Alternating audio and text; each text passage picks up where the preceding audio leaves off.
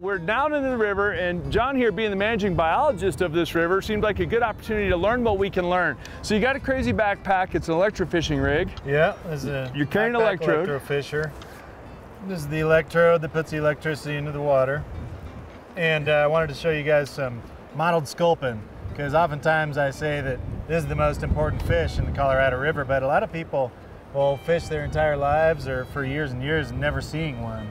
They're um, kind of a cryptic species because they live down underneath the rocks and in the gaps between the rocks and they don't come up. And you said they live down in the rocks. Yeah. So a guy, a fly fisherman or a, a lure fisherman at home, this, this explains a lot about why tube jigs work. See, there's at certain times a year, you know, like during runoff and stuff like that, there's a certain number of them that are, they're just getting knocked loose, you know? So there's a drift happening, I'm just a- like there's a, just like there's a drift of, of nymphs going on, you know? That's what they look like, guys, little flat heads on them. And uh, that's a mottled sculpin. Just for the record, people, Gore Canyon is right here. We're in the Gore Canyon parking lot of the, of the Gore Canyon trails. There are certain types of pollution that they are more sensitive than trout to. Oh, So they can act as sort of a canary in a coal mine with water quality stuff. All right, guys, so we caught these in the span of like two minutes of electrofishing. And Rick, I want to quickly point out this fish is fine. We'll put him back in the water, he'll be fine. The electrofishing does not kill them, it only gives them a temporary stun. Now, you can see he's built to live on the bottom, no doubt. Yeah, they, they almost walk with these fins more than swimming. And you say no swim bladder. Nope, no swim bladder. They stay on the bottom. They change colors with the light as well, just like any other fish. So you'll get some darker colors, some greener ones, some browner ones. If you're trying to tie streamer flies, uh, that's the fish you want to look at. There's basically one of these under the majority of the good cobbles. The cobbles that are in the right depth and in the right place has one of these underneath it. So it's obviously a dense food source and they are eating bugs, midges, things like that. So they're competing with trout in that regard, but they're ultimately a great food source for the trout. The substrate of this river, give us a 30 second rundown of why that's so important. Well, the, the riffles uh, from, from the Blue River confluence on down, the riffles in the Colorado are really healthy and we like to keep them that way. The cobble does not have fine sediment filling in the spaces in between it and underneath it. You can dig down, you know, over a foot into the riverbed here and still find bugs down into the cobble. You know, and that's not the case in, in some rivers where we have embedded riffles, where it looks like a good riffle, but if you really look at the spaces in between the cobble, they're full of fine sediment. So that's key. So one of the snaggier places, riffles that you can fish is probably going to be a good place to catch fish for starters. Look at that sculpin. Yeah, got a sculpin, got a little uh, dragonfly larva. Or, That looks like a good thing for a trout to eat as well. Yeah. And then you get, just by flipping that rock, caught another one of those sculpin. Didn't even need his fancy electrode right there. That'll give you some idea how many sculpin are in here. Looks like you got a stonefly there. small stonefly. Okay, we're gonna let him go, the fish. That's the stonefly. There's a couple Pteronarcys in here. See, these are younger Pteronarcys. You got to remember, Oh, there's one here. September now.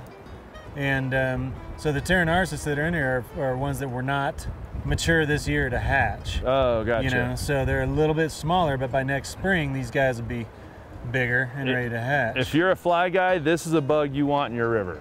Yeah, absolutely. That's a very valuable. And there's really only three rivers in the state that have robust populations of these. It's here, the Gunnison, and the Rio Grande. Well, we've got quite a few mountain whitefish in this section of river, and um, they occur from here all the way down past Glenwood Springs.